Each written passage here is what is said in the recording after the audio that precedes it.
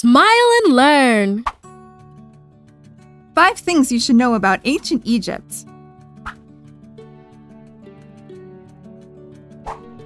I'm sure you've heard about the pyramids of Giza, but did you know that they actually were massive tombs for pharaohs?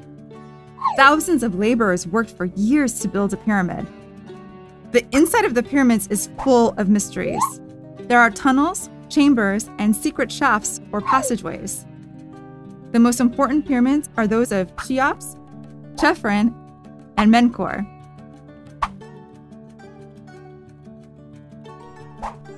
What about mummies?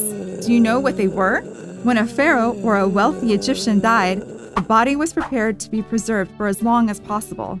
The dead body was cleaned and covered with aromatic substances. Then it was wrapped in bandages. Later on, the body was placed in luxurious sarcophaguses. Egyptians believed in life after death. That's why next to the dead body, they would leave furniture, food, and other objects they thought might be useful in the next life.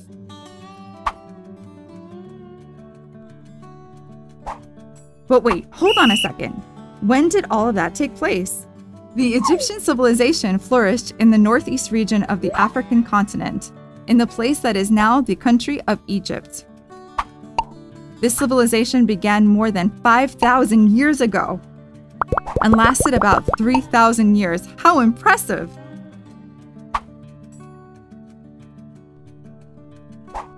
The Nile River was a key factor in the development of the Egyptian civilization. The Nile is the second largest river in the world. It is almost 7,000 kilometers long.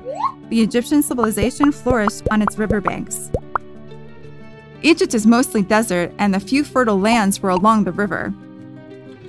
Oh, it wasn't just the rich harvest. People also fished in the Nile. Apart from agriculture and fishing, the Nile River was also important because it was used for transportation and shipping. The ships carried people and goods throughout the empire.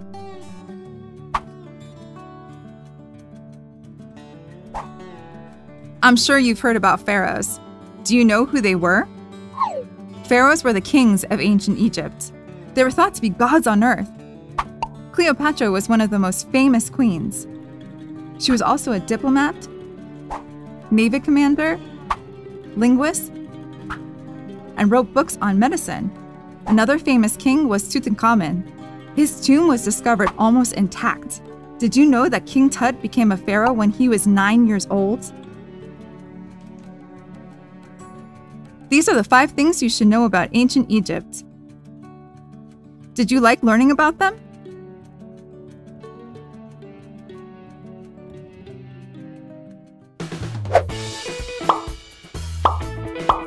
Did you like the video? We have so many more!